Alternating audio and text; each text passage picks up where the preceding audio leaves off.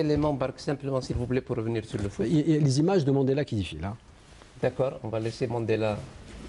Non, peut-être un, un- petit commentaire Un sur petit le personnage. commentaire sur oui. le, le- le foot proprement dit, c'est une très bonne Non, chose. sur Mandela, parce qu'on a les images que, que les téléspectateurs regardent. D'accord. Alors, puisqu'il par- faut parler de Mandela, Mandela a dit une phrase merveilleuse. Il a dit, plus que l'Afrique du Sud a par l'Algérie.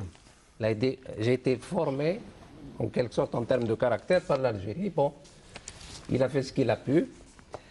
Et d'une certaine façon, il ne faut, faut jamais oublier que Mandela, jusqu'en 2008, c'était un terroriste dans les listes américaines.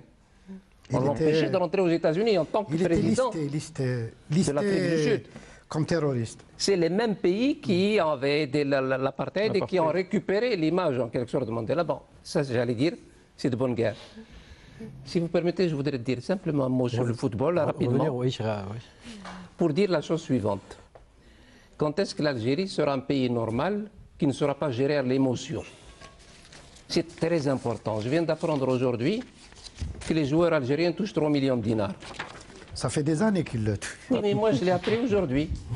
J'ai fait le calcul, c'est l'équivalent de- de 20 profs d'université C'est l'informel. en fin de carrière. Pourquoi, euh, me semble-t-il, on ne met pas à l'honneur Les profs. les gens, les profs qui viennent d'être cités par la NASA et qui vont fabriquer le fameux télescope qui va aller sur la station spatiale internationale. Pourquoi on ne les invite pas? Pourquoi il n'y a pas en quelque sorte le respect de l'effort? Quand vous parlez des jeunes qui nous ont donné en quelque sorte un peu d'espoir, un peu de, de joie pendant quelques minutes, une, et après? Ils sont tous repartis de- de- d'où ils sont venus.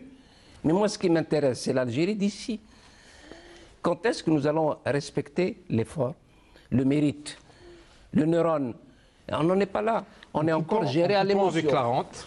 et en introduisant des mesures de redevabilité, de transparence. Voilà. Ah, ah, un dernier mot pour euh, conclure. euh, L'attri- les attributs de la puissance, c'est gagner au football, mais c'est gagner dans l'économie, c'est gagner dans l'innovation, c'est gagner, gagner dans la formation des, de- des- des hommes. Et c'est ça la vraie sécurité nationale. La- prendre la sécurité nationale uniquement du point de vue armement est une fausse piste.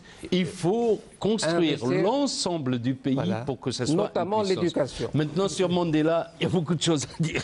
ah, malheureusement, Moi, je, je voudrais